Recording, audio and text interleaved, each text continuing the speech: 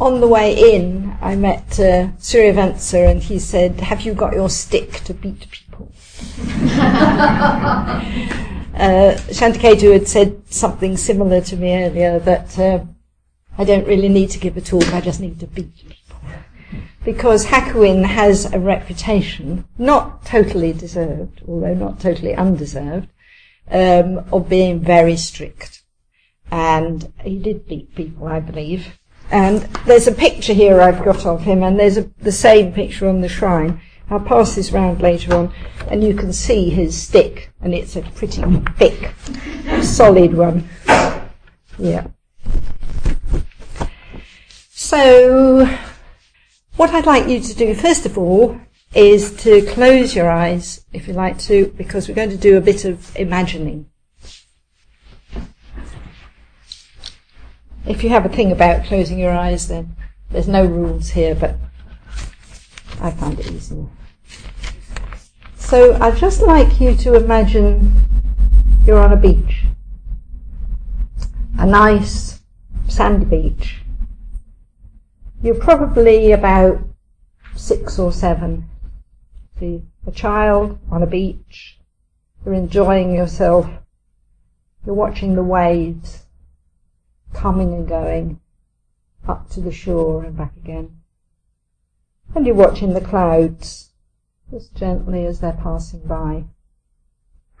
And you're playing in the sand, maybe kicking it with your feet or whatever. And maybe you made a sand castle. And you've enjoyed doing that. And then a wave comes along, as waves do, and it swishes the sand around the sandcastle, so some of it falls down. Now you might just think, oh well, that's a pity, I'll do another one tomorrow, and go off and do something else. Kick some more sand or something. Or you might just feel a little bit sad and distressed about it. Because you realise that actually that sandcastle will never happen again and that the waves that are coming will never be the same again, and the clouds that are passing are changing all the time. And even the people in your life are changing all the, all the time. Your mother, your father. And then you realize actually everything is changing all the time. There's quite a strong sense of you, even as a small child, of impermanence. And so interesting as this is in some ways, it also means that at some point you'll die and your parents will die. And this maybe engenders in you quite a sense of sadness and maybe of helplessness too. So just feel being that child.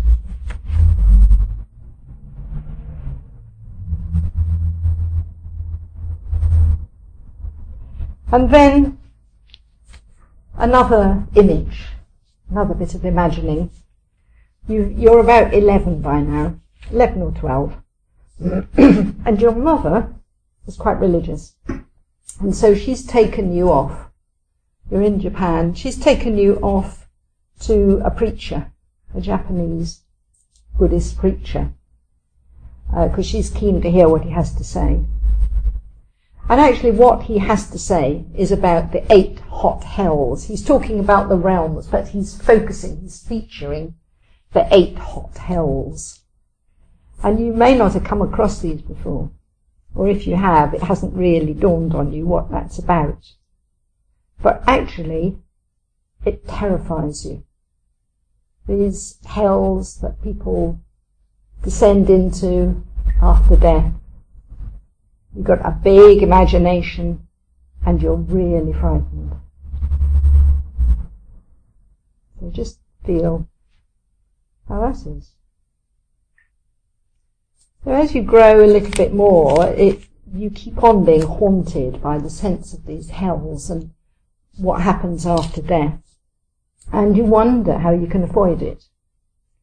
And you have heard that some Buddhist priests do a lot of chanting and praying and various other actions and it helps them to develop so they can avoid falling into these hells when they die. So you have a go at that. So you start being quite ascetic in a way, rising very early, reciting sutras over and over and over, dousing yourself with really cold water, even in the winter. And you try prostrations too. But actually, it doesn't seem to make any difference. Your fears don't go away. You're still unsure of how to avoid dying, the whole cycle of birth and death. And you think maybe it's because there's so many distractions of living at home that you can't focus enough on working with yourself. So you think, well, I better go into the temple, I better go and be a monk, see if that will make a difference because I, at least I can then have a quiet, strict life. And if, if Buddhist monks and priests can do it, that's the way I should go. So you do. You join the monastery. You go to the local temple. You had to persuade your parents. They didn't really want you to go. But they've let you. In fact, your hopes are very quickly dashed. So, you can open your eyes now and close them. And just stop for a moment and just notice how you feel. You're no longer a young Japanese boy. But I hope you got some sort of sense of Hakuin, because that's, of course, who we're talking about. In fact, at that time he was called Iwajiro, Irajiro. Um, and later on he became a Zen master, the foremost um, practitioner in Japan, and he became enlightened. So, in the next mm, half an hour, I'm going to tell you a bit more about that. Um, first of all, I just give you a bit of context um, because a lot of the uh, ancient uh, enlightened beings we talk well enlight- are, are, they're often quite ancient. Actually he didn't live very long ago. He lived about 250 years ago. So he was born in 1686 and he died in 1768 and that's well um, clarified. Um, and he was born in Japan. Uh, Japan at that time was actually fairly prosperous, and it was fairly settled country. Um, I think it would have been unsafe to go out at night, particularly out of the cities, but it was okay around in the daytime. Um, and there weren't big uprisings or anything at that point. There were lots of so there were lots of monks, lots of temples, lots of rituals and things being done. There were natural disasters though. Mount Fuji erupted. That's the last time Mount Fuji erupted, but it was a huge eruption. And it swept away lots of villages, including some quite near where Hakuin lived, because he lived not far from Mount, uh, Mount Fuji. And there was also around that time um, a huge earthquake and tsunami uh, resulting in fires and floods on the east coast, much where the one was that happened a few months ago. So in some ways things haven't changed. Um, and just to kind of put it in context, what was happening in Scotland at that time? Well, the Act of Union was 1707. So uh, Hakuin was about um, 20 around that time. Um, the Jacobite Rebellion, 1715. Bonnie Prince Charlie, Culloden, 1745, 1746. So it was that kind of period in Scotland when um, he was living and growing in Japan. And actually, when I was thinking about this, it, it did make me think that yeah, there were disasters in both places. They were man-made disasters in Scotland. The land mass as such was fairly stable. We didn't have any earthquakes or anything. But there was a lot of fighting. But in Japan, although there wasn't much fighting, there were natural disasters. So can't seem to avoid them. So what was he like? This boy who was frightened, who was terrified of the hot hells. Well, I'm going to give you three short snapshots. I thought rather than kind of just going through it all, I'll just kind of pinpoint three periods of his life. Um, and the, the child one, we hopefully you've got some sense of already. He was very imaginative. He was very intelligent. He was very fearful. He was quite self-willed. No, I think he was probably very self-willed actually. Um, he was the youngest child of five, and I think he was quite special to his mother. So I think letting him go and live in the temple was quite hard for her. Um, she was also quite religious, so there was quite a religious background in the house. Um, and this business, yeah, being haunted by hells and by how to save himself, how to avoid really the whole cycle of life and death. It was the lack of security of the sense that he had, and really the sense of no nothing, no thing to cling to. So that was him as a child up to about, um, well, he goes into the monastery at 15, I think, 14 or 15. So here's the next snapshot. In, as a young man, perhaps in his 20s, he went into the uh, temple and um, he thought, as I said, it would be great. But actually, he found it wasn't. But he was really single-minded going in there that really wanted to find the way beyond birth and death. He was kind of really focused. But he did have highs and lows. I suspect his highs were very high and his lows were very low, so he might not have been the easiest person to be around all the time. Um, he did get very disillusioned both with himself at times, and I'll talk a bit about that later, but also with the monks who he didn't, they didn't live up to his expectations at all. But he searched out good teachers. He went from one to another, really looking for people that he felt could help him. And he was absolutely devoted to his practice in a quite an austere and uncompromising way.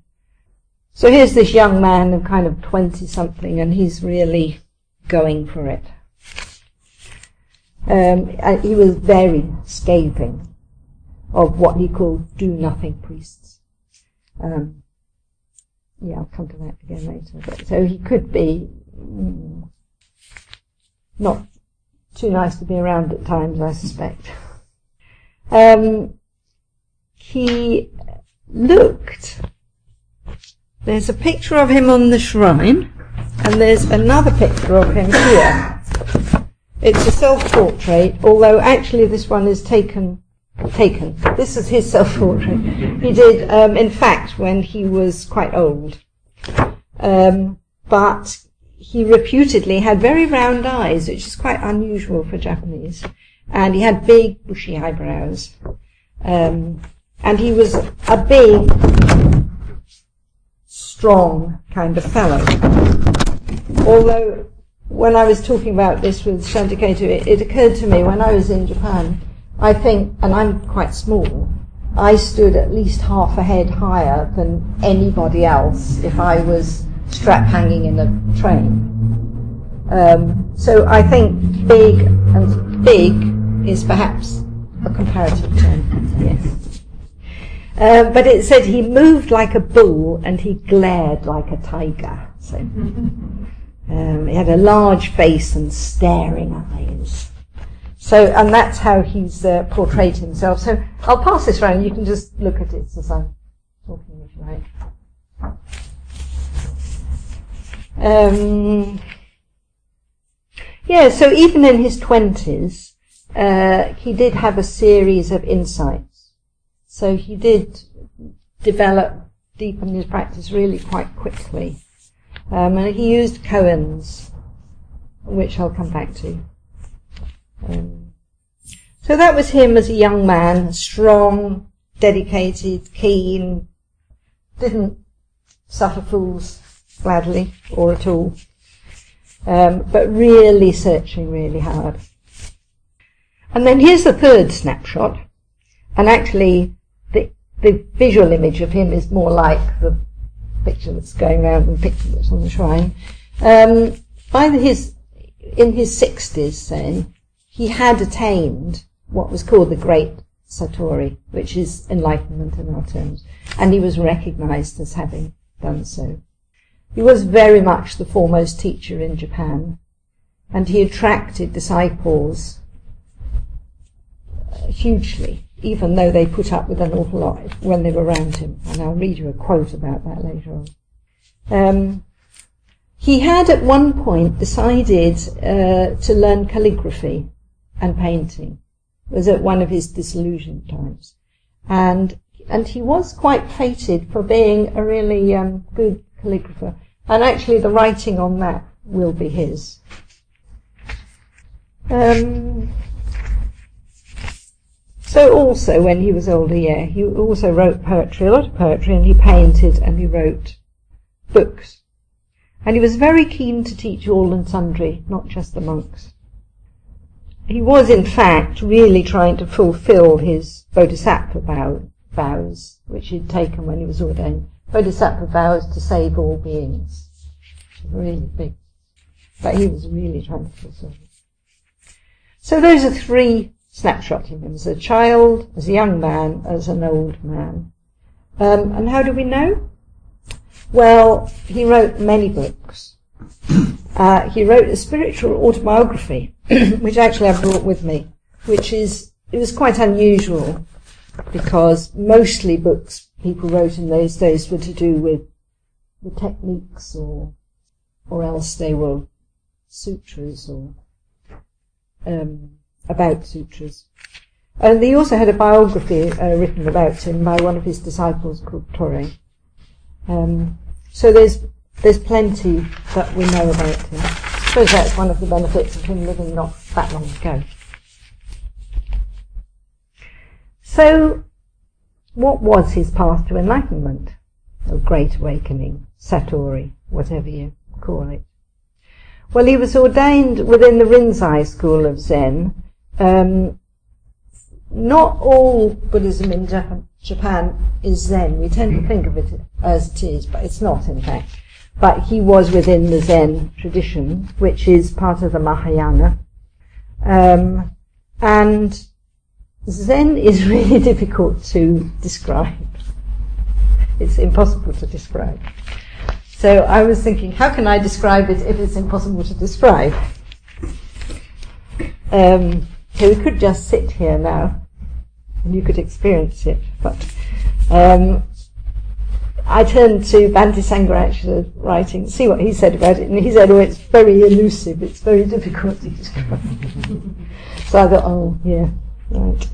Um, but he did give a few characteristics. So characteristics of Zen are, one, that the sacred and the everyday are not distinct.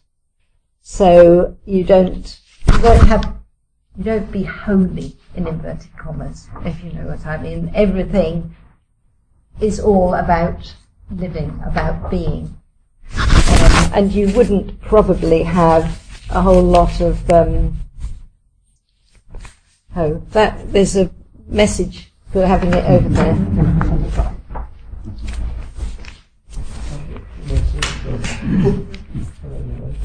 So we probably wouldn't have rupas, well, we definitely wouldn't have rupas and vajras on the shrine if this was a Zen temple.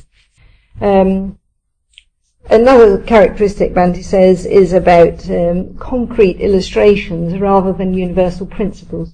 And actually, as I was listening to the poem being read, which really covers more or less the whole basic Dharma, it, but it's really clear and, um, although it's really profound teaching, it it, there are examples in it. It's not just about, it's not philosophy. Right? And um, the third characteristic Bhante names is about action rather than abstraction. Well, that's partly what I was saying. Both on and off the cushion. So you live your whole life. Saying it's not first this and then that. So another, um, I looked at Suzuki, who's a foremost um, Zen writer, and he said the basic idea of Zen is to come in touch with the inner workings of our being and to do this in the most direct way possible, without resorting to anything external or superadded. So this is what Hakuin was trying to do. He was training his mind. He was trying to see into his own nature. That was his aim. Um, and that's what he was really persistent with. So just a wee bit more about his background in the temple, there's two main schools of Zen, um, which you may know. One of them is Soto, and um, uh, next week we're going to have something about Dogen, who actually founded the Soto school. And the other school, the main one we're talking about, is Rinzai, which is uh, the one that Hakuin belonged to and rejuvenated.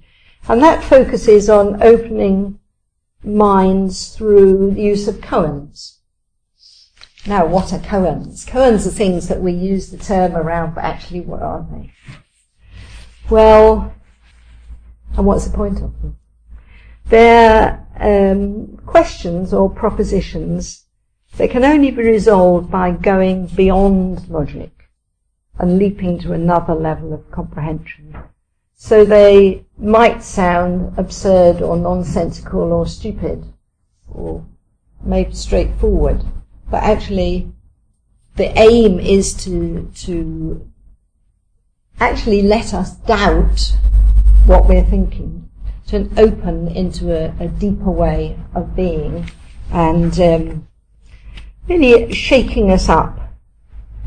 So we're looking at things from a deeper point of view, not just from um, ordinary, everyday kind of not thinking things are substantial or permanent when they're not, which we do all the time, even though we know in our heads they're not. So um, I thought you might like an example or two of the koans. These were ones that Hakuin used too, by the way. Um, there was one, does a dog have Buddha nature? And the answer is, mm know nothing. That means nothing or no thing. That's something for you to think about.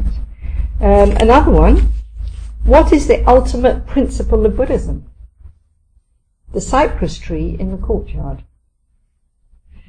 And here's one that actually he invented and he used a lot with his students. And I thought, well, maybe we just, I'll just read it to you and we'll just have a moment or two for you actually just to let it sink in. You've probably heard it before. And just see how you feel. What happens, basically. So that, this one is, what is the sound of one hand clapping? What is the sound of one hand clapping? Just ponder this for a moment.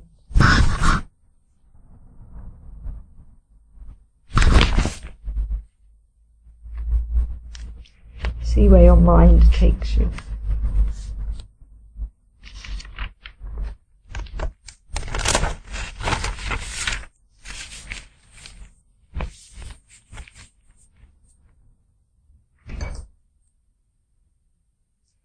What is the sound of one hand clapping?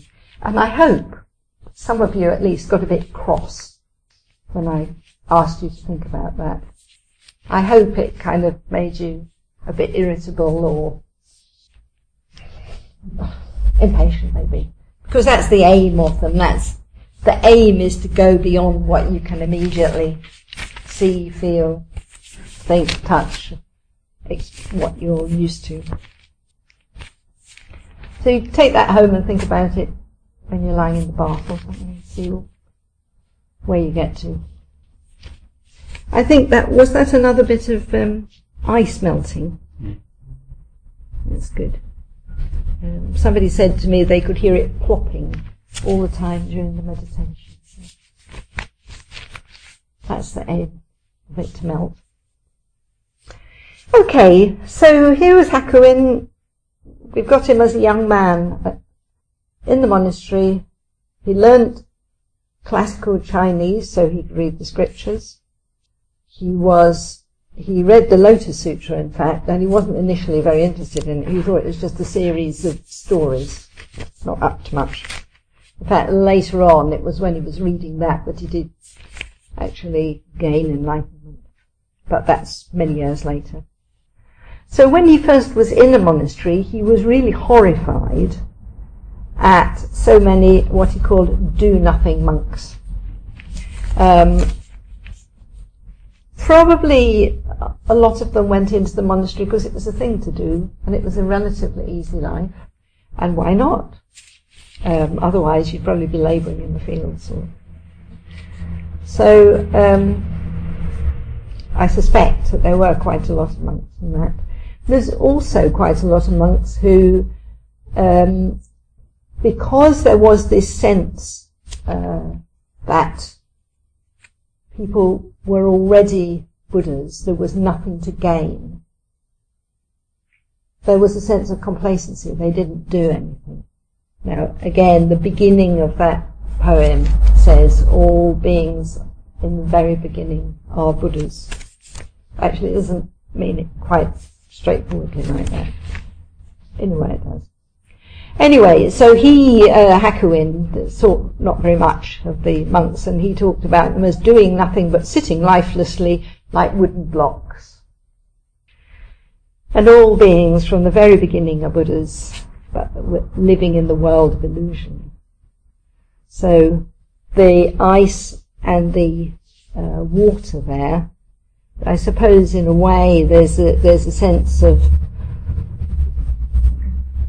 ice and water, there's nothing added and nothing taken away, but ice is rigid, and maybe if we're seeing narrowly, we don't have the expansiveness that flowing water does.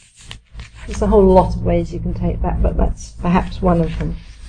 And so these monks were sitting quite happily in the temple, as far as Hakuin could see, and he wasn't. He didn't think they were up to much and no doubt said so.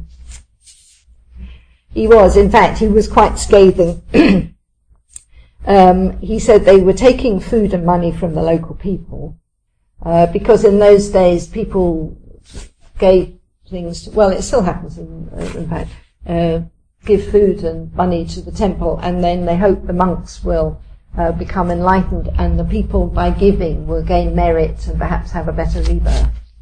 But uh, Hakuin actually said, no, you're thieves to the monks because you're actually taking from the people, but you're not doing what they think you're doing. So, so he was quite outspoken, I think, even when he was quite young. Um, but gradually, over the years, he became um, really an immense figure, physically and spiritually. Um, very influential, setting an example of this great burning tenacity of purpose. Um, and he did live in the same temple that he went back to after he'd been wandering around a lot. He went back eventually and stayed there for 50 years. And it was just a little old place he went to but gradually people were attracted and they came and they came. Um, and so there were lots, um, hundreds of monks eventually. And I'll just read you what it says because it makes you realize just um, as he was older, now, and I'm talking of uh, after he was about 40 or so, what an immense uh, presence he had um, and he did apparently gain enlightenment when he was about 41. But before that, he had a whole lot of insights. Gradually, they gradually, it wasn't like one day he was just scrabbling around in the dirt and the next day he was enlightened. Um, there was a whole series of insights, mostly from uh, using this koan method um, so that although it might seem that it's sudden, it's it's been built up. The, uh, development of his practice. So there he is. He's an older man now, and uh, he's got lots of monks who are really feeling, um, oh, this man's got something that maybe we really want to be near him and we want to learn from him. And they must have really wanted to because, listen to this. They took shelter in old houses and abandoned dwellings, in ancient temple halls and ruined shrines. Their lodgings were spread over an area five or six leagues around Shorinji, his temple. Hunger awaited them in the morning. Freezing cold lurked for them at night. They sustained themselves on greens and wheat chaff. Their ears were assaulted by the master's deafening shouts and abuse. Their bones were hammered by furious blows from his fists and stick. What they saw furrowed their foreheads in disbelief. What they heard bathed their bodies in cold sweat. There were scenes a demon would have wept to see. Sights that would have moved a devil to press his palms together in pious supplication. And would a single one of these monks have remained at Shorinji, even a moment, if he had not been totally devoted to his quest, grudging neither his health nor life itself? So from finding all these lazy monks, as he saw them when he first went into the temple, his gradual increasing influence uh, was tremendous. Tremendous. But he did have setbacks. It didn't all go straightforwardly. He did have a series of setbacks uh, when he became disillusioned um, or ill. Um, and it was actually on the first time he went in when he was really disillusioned with them and thought they were all sitting around doing nothing much and behaving like pieces of wood, But um, he decided he would learn calligraphy and painting. Oh yes, um, uh, what had happened when he was first a new monk, uh, there was a great practitioner called Yen Tao who had been killed. And he'd actually been killed by robbers in his temple. He just sat in the temple and the robbers had come and when he just sat, when they wanted money, they just ran him through with their swords and so on and killed him. And this was a big shock for Hakuin because Hakuin thought if, if such a great man can die just like that, what hope is there for a mere monk like me. And he was probably still in his teens at this point. And he says, a Buddhist monk had to be the most useless creature on the face of the earth. How I rue the day I let them shave my hair off. Look at me, a sorry, wretched looking outcast. I can't possibly return to my lay life. I'd be too ashamed.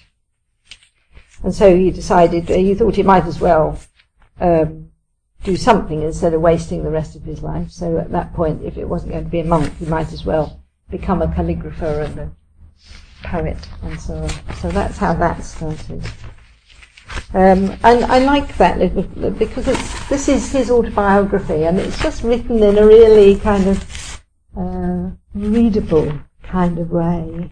Look at me, a sorry, wretched-looking outcast but I can't possibly return to lay life. I'd be too ashamed. So yeah, it's interesting that he would admit that. So that was the setback, and what he did from it was actually start to learn other things. Then um, three. Um, yes, he also um, had come across a book at one point, just when he needed it, and it was called Spurring Students Through the Zen Barrier. And when I read that, it made me think of all these do-it-yourself health books that are on the shelves in uh, Waterstones. It sounds a bit like that, doesn't it? Anyway, it was obviously very good because he kept it with him for many years. And it had just come to him just at the right time. It was literally, there were some books laid out, they were airing the books when the sun was shining. And he just picked one up. And it happened to be spurring students through the Zen barrier. So, um, and I was thinking, well, actually, things happening just at the right time, they do, don't they? I mean, I, I know I walk past this building for about seven or eight years quite regularly. I never even noticed the front door. But it was, yeah, I can see a few nods around the place. But actually, it was just that I really needed it. It was just at that moment that, oh, something happened. So I think that does happen to us. So for him, luckily, it was this particular book. Um, at another point, thinking about setbacks again, so the setback, this spurring the students helped. But um, at another point, he became quite ill. This was a bit later on. Um, he quite, became quite ill with what he called Zen sickness. And I'll just read you what he puts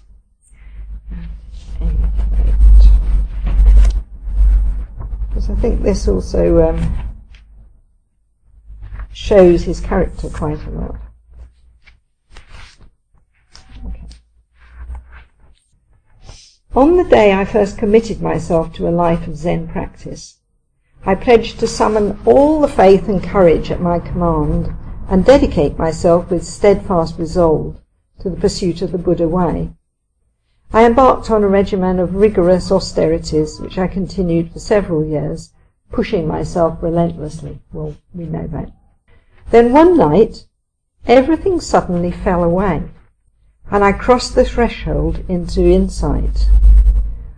Uh, Satori, All the doubts and uncertainties that had burdened me all those years suddenly vanished, roots and all, just like melted ice deep-rooted karma that had bound me for endless kalpas to the cycle of birth and death vanished like foam on the water.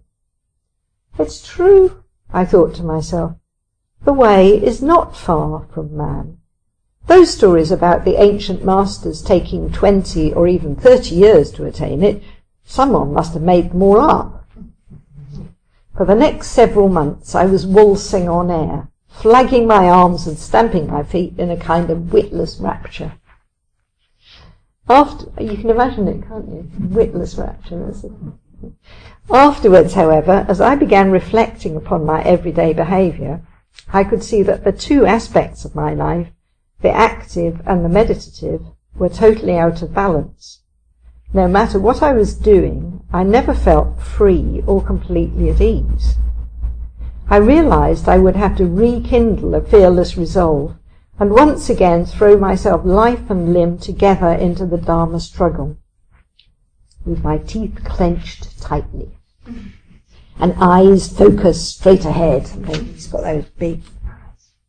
I began devoting myself single-mindedly to my practice, forsaking food and sleep altogether. Before the month was out, my heart fire began to rise upwards against the natural course, parching my lungs of their essential fluids. My feet and legs were always ice cold. They felt as though they were immersed in tubs of snow. There was a constant buzzing in my ears, as if I were walking beside a raging mountain torrent. I became abnormally weak and timid, shrinking and fearful in whatever I did. I felt totally drained, physically and mentally exhausted. Strange visions appeared to me during waking and sleeping hours alike. My armpits were always wet with perspiration. My eyes watered constantly. I travelled far and wide visiting wise Zen teachers, seeking out noted physicians, but none of the remedies they offered brought me any relief. So it was quite clear that the um, insights he'd had weren't complete. And what happened after that was, in fact, he did eventually find somebody called Hakuyu, who taught him introspective meditation, um, and which was a more complex form of what we were actually doing earlier this evening in the meditations. And that's why I wanted you to just try. It was about he had been talking about the heat rising, and I suppose for me the heat rising is when I become very kind of busy in the head. So it was about letting it go right down to the cells of the feet. There was more to it than that, but basically that was um, what he found was really helpful. And I, I did think maybe all the koans work had got a bit heady. Or maybe he was pushing himself too hard. Or maybe it was um, also a physical thing because it seems possible that he had diabetes. Um, he was very fond of sweets, and it and it seems that he may have had diabetes. So maybe that was related to it too. Whatever it was, when he learnt this introspective meditation and he practiced it, and he said, "Oh, I just practiced it every day for three years." Um, but it certainly made a huge difference. It really helped. Um, Akaku, who was another teacher, actually also said to him, just stop running. And I think that all ties in. Sounds like the Buddha with um, Angulimala, doesn't it? But uh, I think he was perhaps really trying, pushing himself, making too much effort. So, um, yeah. Th- those were the setbacks, the main setbacks he'd had, and, and that's how he dealt with them. He um, did get one or two really good teachers. One of them was called Shoju, and he actually only was with him for about eight or nine months, but it made a huge difference to him. I think Shoju was very strict with him and um, told him to stop his nonsense when he thought he was enlightened when he wasn't. Um, but he also went to teachers from any school. He didn't just stick with Rinzai, he'd go to Soto, he, would go to the Nembutsu school where Nichiren's, anybody who he felt was a really good teacher who could really help him, he would go to. And actually that reminded me a bit of Bhante when he was in um, India because he went to a whole range of teachers. He didn't just stick with the, um, the Theravadins. So, just a little bit more. Yeah. As I said, he was um, enlightened uh, when he was about 41. It was generally acknowledged that he had gained the great emancipation. Um, and here's a, a, quote from Torei, who was one of his disciples but also his biographer. So he said the master lived in the state of emancipation. This is after enlightenment. The enlightening activity of the Buddhas was now he was now his without any lack whatsoever, enabling him to speak with the same tongue and from the same lips as all the Buddhas before him. And he spent a lot of time, as he got older, writing books. Um, and there's a nice little quote I found of his. He said, the exercise of verbal prajna is what he thought of as writing. The exercise of verbal prajna. A word or two from an enlightened teacher designed to trouble later generations of students. So he's wanting to uh, not let anybody become too complacent or settle down. And again, actually, Bhante has said that to us in order to talk to being disruptive. So I guess that's part of deepening our practice. So he did lots of teaching. He encouraged his students with a stick sometimes, as we heard, or cuffing them around, but really he was really strongly um, determined that as many people as possible should experience the profound uh, depths that he had. Um, and he devised new ways to help lay people. He wasn't, interestingly, he wasn't just interested in monks. He was also interested in helping lay people.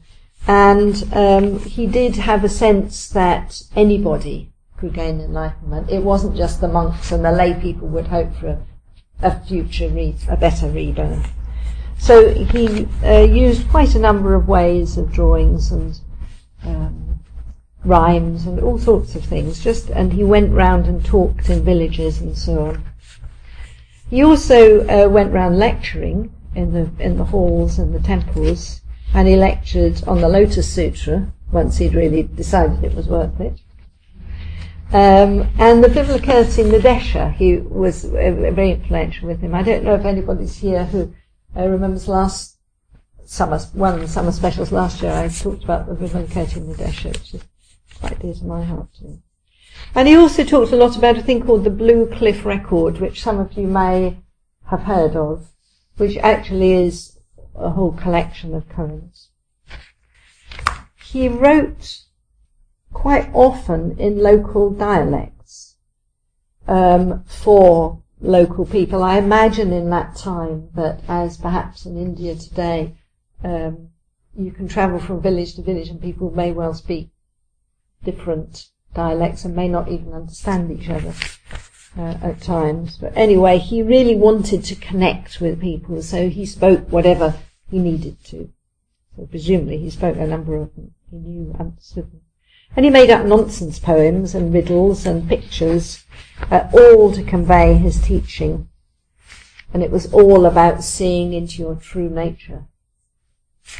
He also felt that uh, the lay people were quite up to um, developing themselves through uh, koans too. And then when he yeah, when, by the time he was kind of in his 60s, 70s, he died when he was 82, and until quite a short time before that, he had been going round teaching, lecturing, travelling. Pretty hard life he had because it wouldn't be like getting on the train. Even 250 years ago, I don't know whether he rode a horse or walked. I have no idea. I don't know they had horses very much in Japan. Probably. Anyway, there was a phrase he used and he mulled over quite a lot, and it was a, he said the mind of enlightenment. But to him, the mind of enlightenment was about acting as a bodhisattva. And he mulled over what that meant, and he wrote, It is, I realized, a matter of doing good, benefiting others by giving them the gift of the Dharma teaching I pledged that I would from that moment forth drive forward the wheel of the four great universal vows. Now I'm more than 80 years of age, but I've never been remiss in my effort to fulfill that pledge. I go wherever I'm asked, 50 or a 100 leagues. It doesn't faze me in the least. I do everything I possibly can to impart the Dharma to people. And that's what he was doing when he was 80. So, why does he inspire me? Well, you can probably see by my demeanour that he does. Um, I suppose the, the first thing is because of his depth of practice, his determination. There's no compromise in the great matter. He was determined to um, develop himself so he was beyond the cycle of birth and death. There were no half measures with him. There was no complacency. He just got on with it. Um, though he did go through periods of doubt, but he didn't give up, and he did admit when he was wrong. I've another little bit to read you. Oh, I've read you that. Okay. So anyway, so that's one of the things why, one of the reasons for, uh, I suppose another reason was also his ability to balance calm and activity, which is something he really tried to focus on. Um, and just going beyond irritations, being able to move from one um, activity to another as a flow. And here's a bit. Zazen means to bring that force by which the Zen meditation is gripped directly to bear upon one's own present daily life, to vivify it, withdrawing into meditation and then advancing and handling affairs. This advancing and withdrawing, movement and rest, together must be Zen. And that's what he was able to, through trial and error, I think he was able to do. Um, and I was thinking about how often when I talk with people and with myself is, you know, it's, oh, I really like to go on retreat, but actually I can't because I need to do this or I need to work or I need to look after my mum or something. So there's a tension there. Um, or even just trying to fit meditation into a working day, there's a tension of, of getting the balance. It, do you find difficulty getting balance? Anything? There's a few nods. Obviously, a lot of people are saying, that's good. I, I do. But anyway, he really worked with that and was able to get the balance. Mm. Um, I, I also uh, admire him for his commit, for his the way he was uh, he worked with ordinary people, and the, he talked very much about not these actual words, but commitment being primary and lifestyle being secondary, which again is something within the order that's um, facet of it, I suppose. Um, he was concerned with ordinary people, not just monks. He could see the potential of Buddhahood in everyone and used whatever method helped them. Koans, poetry, drawings, conversations, and so on. So he really um, looked for the person rather than their station in life, if you like. And that was quite unusual in Japan at that time. Within his uh, order and within his um, school of Zen, Rinzai, he almost single-handedly, to begin with, reinvigorated it. And I think he reinvigorated it with, perhaps by really showing people, perhaps in a fairly scathing way, what he didn't approve of. But he got monks from, he started, when he first went in the monastery, he talked about monks as clothes hangers and rice sacks. Um, but I don't think there were many clothes hangers or rice sacks left by the, by the later on in his uh, lifetime. Um, and I don't think monks any longer saw it an easy option to go into temples. Uh, they had to be prepared for his cuffs and blows, but he obviously inspired them. It's a really great effort. Um, and he systematized koan teaching. He, he found koan teaching so useful and it was a bit haphazard. And he realized that from going to the various teachers. He actually systematized it within the Rinzai tradition so that uh, students could learn in a fairly regular fashion. And that was very helpful for future students. Um, I suppose I also like about how he wrote about his experience in, in this particular personal style. It's just full of little details which make me want to read the next page and turn over and just feel, oh, just feel the sense of the person from all the little kind of things that he mentions. Um, and I suppose finally, I haven't really talked about any other poetry. He did write other poetry. But the one that we have featured, if you like, tonight, um, it really touches deep parts in me. It's words, but it it has a a profound sense of wisdom beyond words that really it works for me. So let's finish with hearing it again and maybe hearing the plops of water and it's still plopping. Um, and then we'll just sit for a few minutes, just about five minutes, and I'll ring the bell to end.